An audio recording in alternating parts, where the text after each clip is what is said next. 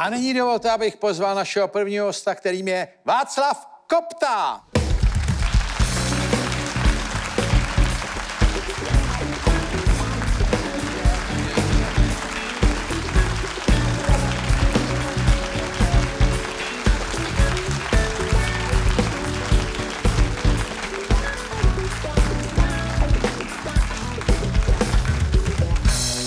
Dobrý večer. Dobrý večer. Václav Kopta, nebudu tady vysvětlovat, že je to český herec, ale taky to není tak dlouho, co jste tady byl, asi tři roky. Je to strašně dlouho, tři roky uteklo. Tři roky, ale co je zajímavé, vy jste měl teď tančit, že jo, ve Stardencu a uh, všude jsem čet, že jste nějak se zranil, No. takže tančit nebudete.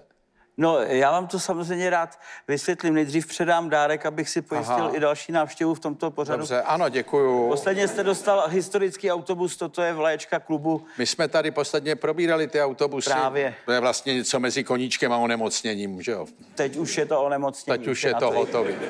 Děkuju moc krát. abyste věděl, Děkuju kam moc s tím krát. zajet. No, pokud jde o, o ty moje tanečky, no, ona je to taková spíš Co se stalo? tragikomická Jo. situace, jak je u mě dobrým zvykem. Ono se stalo to, že vlastně v den prvního tréninku jsem eh, vykročil levou nohou a hned jsem si na ní zlomil prsteníček.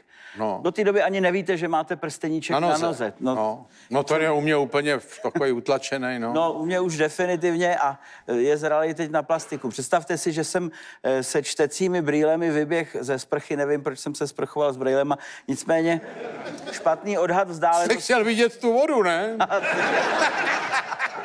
nevím, nevím, Jestli teče. jestli teče. Ale bez šnorchlu. Měl jsem jenom čtecí brýle. No a prostě jsem si zlomil prsteníček o pelest postele. Taková ta strašně trapná eh, příhoda, kdy to hrozně bolí a v tu vteřinu víte, že vaše účast v této prestižní soutěži je ohrožena. Takže to byl první den tréninku. O měsíc jsem to musel odložit. Aha. Všichni tančili, všichni už sbírali zkušenosti a mm. obrušovali podpatky svých střevíců, zatímco já jsem si léčil tuto trapnou zlomeninku. No a s tím měsíčním spožděním jsem začal potom blbý. dohánět. Jo, jo, jo. A to víte, ve 53 a, a s mými kily dohánět měsíční spoždění je poměrně náročné a jak jsem se později dozvěděl, já jsem si ulevoval od bolesti tím, že jsem přetěžoval tu druhou nožičku. A tam No tak jsem, bude, když tam to je no, raněná. v tu chvíli jsem nevěděl, že se řítím do propasti. Ale tak enormně jsem se snažil s mou tanečnicí Janou Zelenkovou o to, abych dohnal tu ztrátu, že jsem i opomenul signály svého těla a my už se tady začala dělat na tom stehenním vzpřimovači. To víte, Vy že... tam máte vzpřimovat? Já ano. Já ano a Takhle, ne. jakože vám vzpřimuje stehno? Já jsem to uvedl správně, stehenní vzpřimovač. No, no já To se takový, ptám. Takový erektor, o kterém ani vlastně nevíte, Ne, že ho já máte. opravdu ne. No, ne, nechte si ho při příští prohlídce. Já jsem prožil život s povolenýma stehnama. No právě.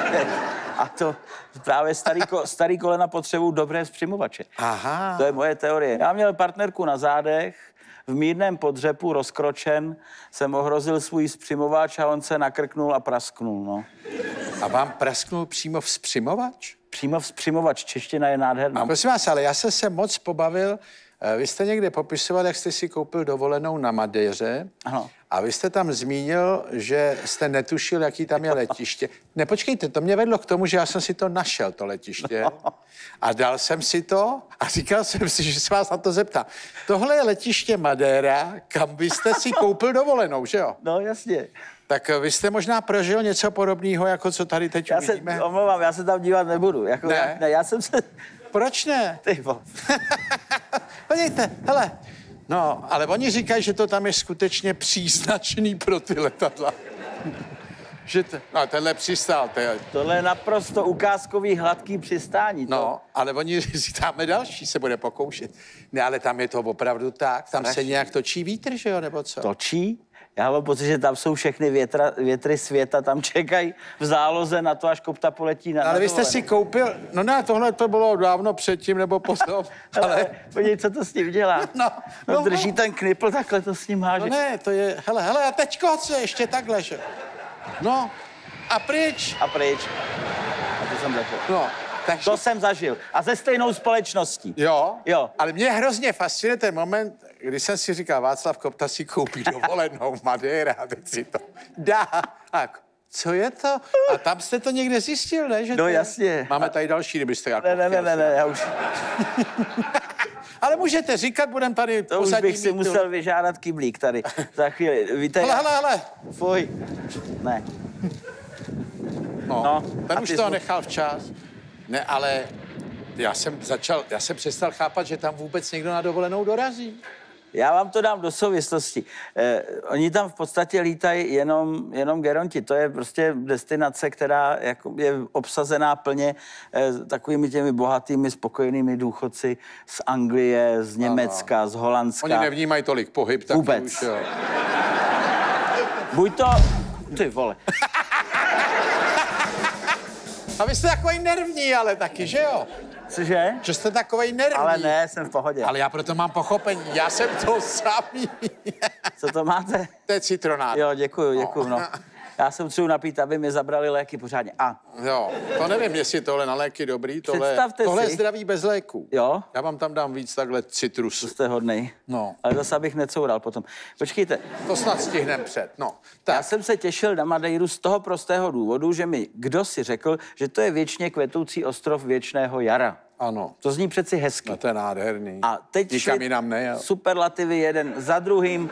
Co všechno tam uvidím, co všechno tam kvete od papoušku až já nevím po jaký skály a jaký dobrý papání tam mají. A to, To je vás nejde. nalákaj. Ráj na Nikdo zemi. vám neřekne, že Funchal je jedno z pěti nejnebezpečnějších letišť na světě. Všichni řeknou, že let je příjemný s jedním přestupem, e, tuším, že v Lisabonu nebo kde. No to je vám všechno jedno. Já le- letání obecně nenávidím celý život a bliju i na štaflích, takže pro mě, pro mě je vůbec... Já taky to. Není pro to, mě, i, i když... jako, že bych si jde konečně v luftě, to taky ne. no. Ne, přesný opak si říkám. Já, já mám i respekt, když jedu po dálnici na slaný a, a tak se nedívám doleva, abych neviděl ty věže řídící a ty radary a, a, a tak. Takže já to mám Ne, to poměrně. já se rád dívám, že všichni ostatní Jo, jo, vítají, jo, jo, ale já ne.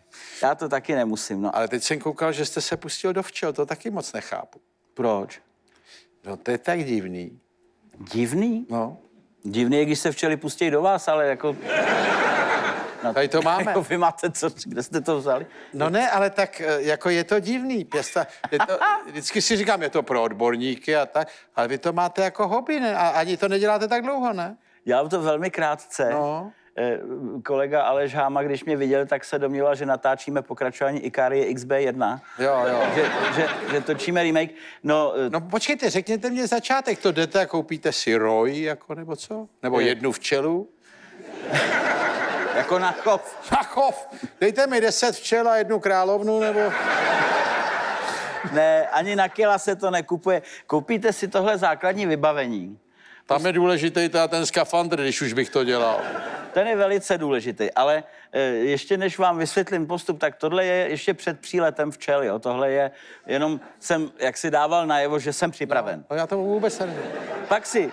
A vy takhle stojíte a oni poznají, ten si koupil musíte ty se hadry, tak půjdeme ke Kouptovi. Ale pod těma hadrama musíte být nahý a kompletně potřený medem. Pak oni přesně vědí. Jo, vy musíte být potřený. No to je blbost samozřejmě, ale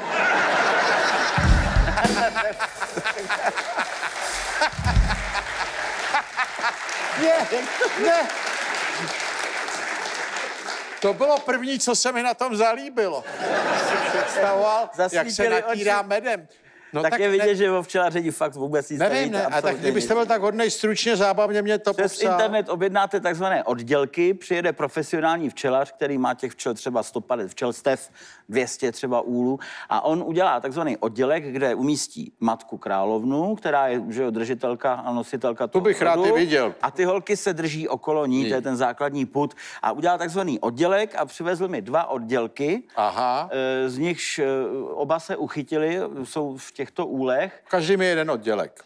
V každém je jeden oddělek, který automaticky a okamžitě začne budovat to včelí dílo, což jsou ty nádherné plásty osmiúhelníkový a, a začnou si žít svým životem a váš jediný úkol zpočátku je je přikrmovat, aby to včelstvo sílilo a prospívalo i v období... A oni si ráno vyletějí, jo. Oni jsou nesmírně pracovitý, jako člověk by se od nich opravdu měl hodně co učit. Mě to někdy deprimuje, jak furt dělají, no. No, Ale zase, když jste včelař, tak oni dělají na vás. Dělají na vás, což Takže potěší. to potěší. A oni teda si vyletějí, to všecko si dělají sami. Samozřejmě. A vy jenom přikrmujete. Já přikrmuju, sleduju a fascinovaně zírám. Ovšem, eh, zdravíme Ikári, eh, tenhle oblek stojí poměrně dost peněz a údajně má zaručit jako stoprocentní bezpečnost včelaře začáteční. No, že neprobodnou to. No, že hlavně je to neprodyšný a protože profíci pracují i bez rukavic. Já to nechápu.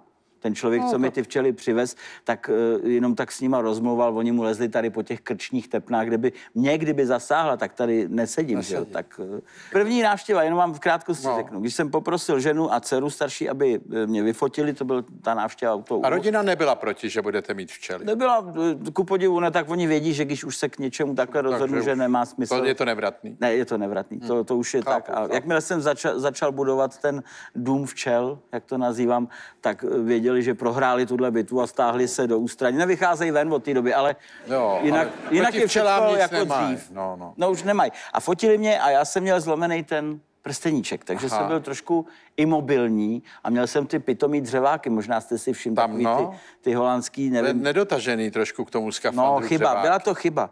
A představte si, první návštěva, kdy se jde takzvaně do včel, dýmák, kouří, že jo, všecko jak má být. Jako dovnitř do no, toho. no, no, tím jo. je trošku vomámíte a máte je sklidnit. Já jsem je rozběsnil tak, že hned na první...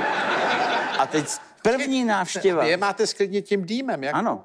A co jim tam dáte, Mariánu nebo co? No, někdo přidává různé ingredience, mě někdo poradil a myslím si, že to byl jenom pokus o vtip, ale povedl se, že mám zapálit takový ty vaječníky, co jsou ty přepravky papírový na vejce. Jo, na vejce tyhle ty. No, a to jim, to jim teda dobře neudělalo. Myslím, že Ne. Strašně se naštvali a jako mohutně jako je- jeden Šli po vás? šli po mně, Jo. ale já byl takový zvláštní vnitřní klid, poněvadž když jste v tom obleku, tak si říkáte Jo, jo. a najednou bzz, bzz. A říkám, ty vole, je uvnitř. Nejbezpečnější oblek, rozumíte, včelařský Ironman. A je tady, ale v té kukle. To je strašlivý pocit. První letěl ten kouřící dýmák a, a začal tanec smrti, kdy tenhle kosmonaut, úplně jsem zapomněl, že mám zlomený. A řval se, je tam, je tam, je tam. A teď jsem se zmítal, jak tanec svatýho víta. Teď tam stála žena s dcerou, vůbec ne- nevěděli, co to má znamenat. A nefotili si vás? Mě by si fotili. To, jak se zmítáte, to je legranda. a za, zakřiku, je tam, je tam. Jsem se zastavil a ta svině ještě chvilku lítala takhle, takhle zprava doleva, vybrala si zlatý řez, jak Rembrandt, tady sedla a udělala drž a dala mi takovýho štempla tady přímo doprostřed mezi oči. První návštěva ve včelách a hned, hned jsem jí koupil. no. Dostal? Mm. A víte, co je ale vůbec nejlepší No. na včelách? Funkce trubce. Ty mě tak rozesmály. Představte si to, eh, kdybychom si udělali eh, paralelu na lidský svět. Trubec je eh, samec, je jich jenom pár a narodí se do velice privilegované pozice v tom úlu, protože má dvojnásobné dávky v krmení, je opečováván těmi nejpůvabnějšími z těch dělnic, má speciální domeček, aby mu tam nebylo zimička nebo No teploučko. je to chlapeček, no. Tak... Chlapeček a má jediný úkol, že během jediného svého životního vzletu mimo úl, takzvaného zástupního letu, má za úkol, eh, jak si provést eh, zásnuby s tou královnou, oplodnitý. Pane, a to je stresující. No tak oni jsou k tomu No, vychovávaní. na, je na to... jeden výlet, ale jenom, že? No dobře, no tak je to jako u fotbalistů, taky ten mistrák většinou kopou jenom jednou. Takže takhle se mu to přihodí tě, těm pitomcům, že jo, který se proletí s tou královnou. Hned jak je věc hotová. Ještě No. no. to pozichrujou ně, účastí několika z nich, jo. Aha. A milostivá paní se vrátí domů se svojí ochrankou. A ty kreténi letí zpátky, tak co dobrý, jo, super bomba. A přiletí k tomu úlu a, a, a ho bezet zavřeno prostě. A oni, dobrý, co, co blbnete, holky? To je takový mužský život v kostce. No jistě, když říkám, to je paralela jako blázen. A, oni je nepustí domů? Ne, konec. Oni tam stojí, dobrý den, můžem domů. Ne, ne, ne. Já jsem ten, co byl s královnou. Dobrý, padej, padej, padej. A, a normálně, normálně po všem, je hotovo. A když A jako oni, a prudí oni hodně, pojdou teda, nebo... no jasně, je konec. Žádný, No, žádný ale tak to pokoj. já bych pěstoval trubce jenom. No, Já bych oni, otevřel trubčí salon. Ale když oni umějí jenom tu jedinou věc na světě. Jo, tenhle ten výlet s královnou. Ano. To je ale strašný příběh. Děsivej, že jo? Má zadání, úkol, netuší, že už ho nepustí domů. Je hotovo. A že mu to někdo neřekne, bacha. No, je, oni mu říkají, jsi krásný, Jo, tohle máš tady domeček, všecko. No, no, no. A podívej, jaký ty jsi chlapis. Čeká tě něco nádhernýho. A za půl hodiny táhni šmejde a už se nevrací. Padej. Co chceš?